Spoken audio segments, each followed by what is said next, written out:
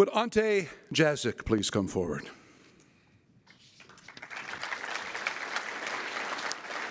Let's, uh, let's watch some soccer highlights, folks.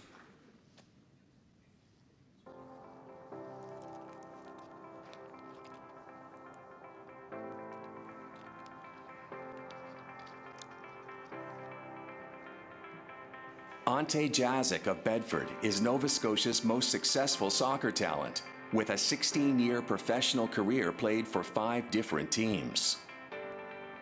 I had a lot of contacts in England at Sheffield, and I remember getting to uh, Dalhousie and seeing Ante play, and telling telling Sheffield United that this is a kid who I think could play professional. Um, very disciplined, always in the right spot uh, at the right time. Just his, uh, you know, unselfish uh, willingness to play any role for the team, to put the team in the best position to win. I think his uh, best quality is work ethic, um, and I think, uh, you know, to his credit and his parents' credit, uh, that was instilled in him at an early age. You know, a super skilled player that, uh, you know, played a simple game for uh, our team and any team he played on.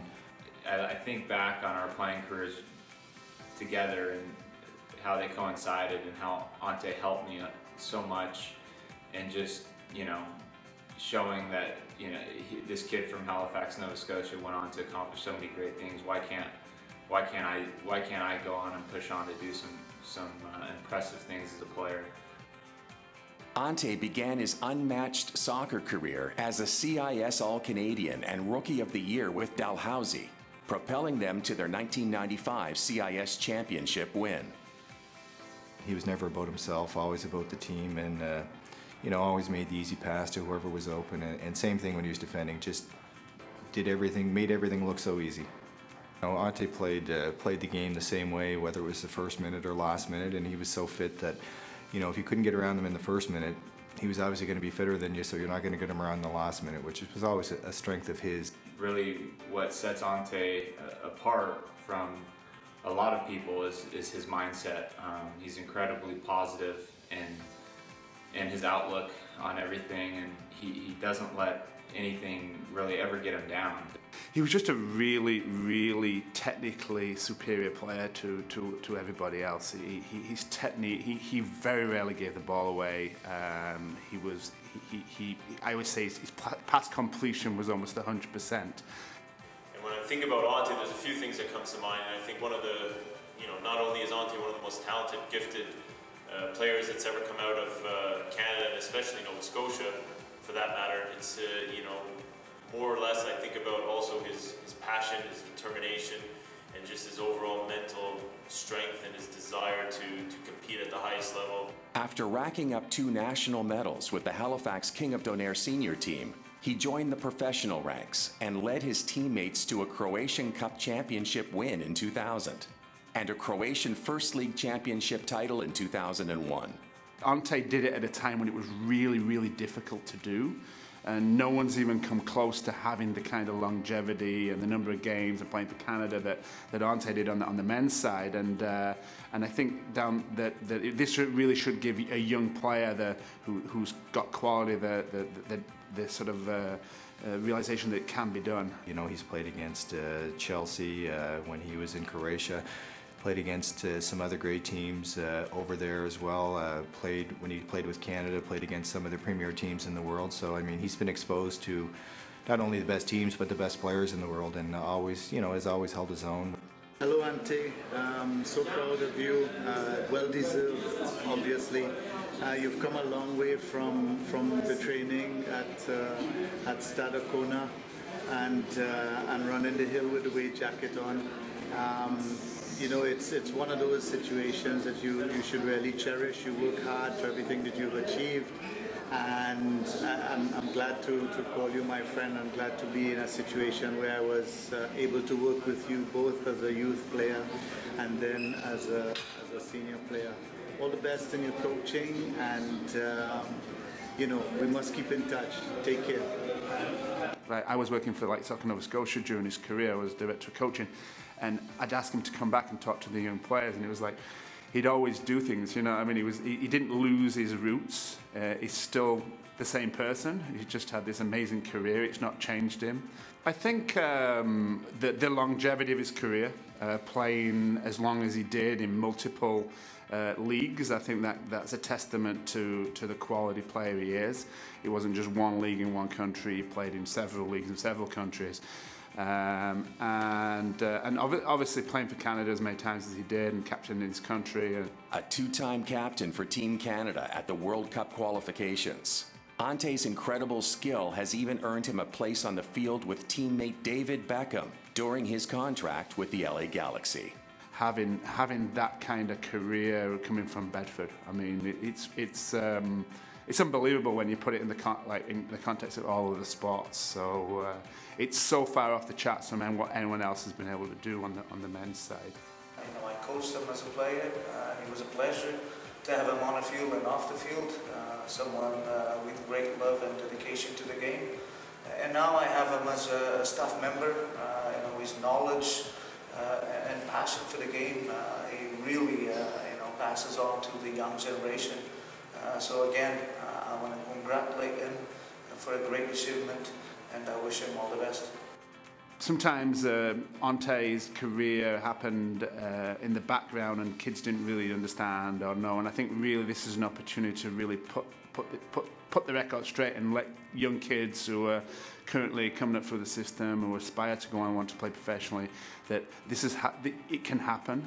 And here's a great example of how it's happened. And I think him being inducted gives the gives the soccer community, his family and his friends, the opportunity to really thank Ante for giving us all this, letting us all share this journey, and uh, and I think that's a, that, that it's it's a really great opportunity for everybody to to acknowledge uh, the, the the first class uh, career that, that he that he had.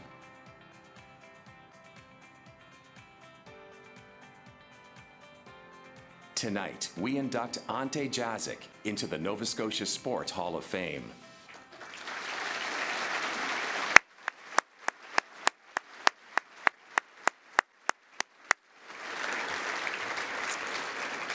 All right, to present the plaque, one of the all time great Nova Scotia soccer players, a member of the Hall of Fame, Mr. Ross Webb. And for the pin, a former teammate of Ante's with the National University gold medal winning Dalhousie Tigers soccer team of 95, a member of the Hall of Fame, Trevor Chisholm.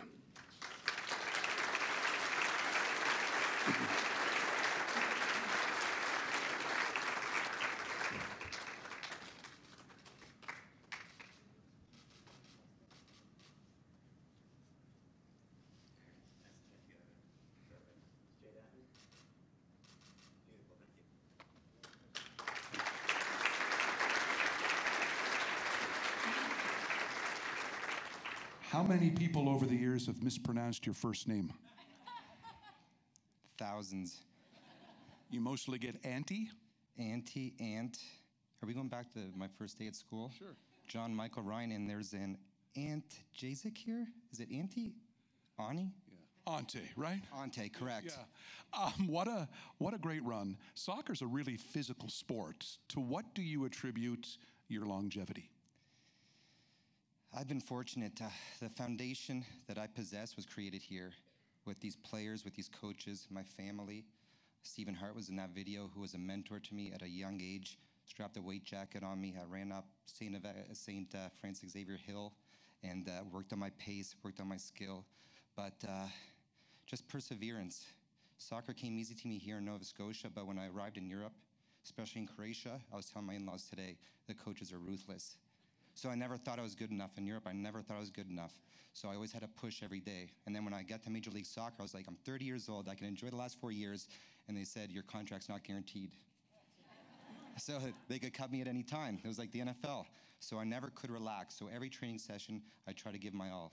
And uh, coaches recognized that, and I was able to play 17 to 18 years, I think. Wh- Why was this, of all the sports, you're a good athlete, why was this the sport that, that grabbed you and held you for so long? Well, my parents are from Croatia, so soccer is the most popular sport there. So at a young age, they registered me for soccer, and then I was fortunate enough to have great youth coaches.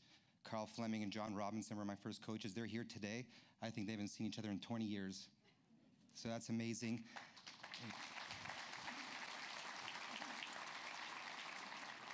And then, like I said, Stephen Hart, but my teammates with Halifax King Nair, with the Dalhousie Tigers. When I was playing for Canada, I didn't just play for myself, it was for Nova Scotia. When I heard the anthem, it wasn't about Ante Jazic, it was about Nova Scotia and representing my province with pride, representing those individuals. I I think you're the only Nova Scotian ever to captain Team Canada. I think so, yes. I actually know so, it's true. Yeah. I'm positive. We don't just throw that stuff out there. Um, uh, how, are you, how are you giving back to the game today? So right now I'm the coach of the Canadian U15 national team, the assistant coach for the 17s and 20s. So I travel frequently. Um, my number one priority is to identify talent. So recognizing the pathway for these young players to get them in professional environments. Hopefully for a player in Nova Scotia, we can get them into a more competitive environment at a younger age and have a, a future Ante Jazics playing professionally and playing for our country and getting Canada to a World Cup, which we so deserve. Yeah. What, uh, what does your story, a young guy from Bedford playing 17, 18 years of pro soccer, what does your story say to all the kids playing soccer right now in the Maritime provinces? A wise man once said, never, never quit. Do you know? but honestly, you kind of threw that back on me. That was nice, yeah. yeah. Honestly, for me, I think just the ability to adapt.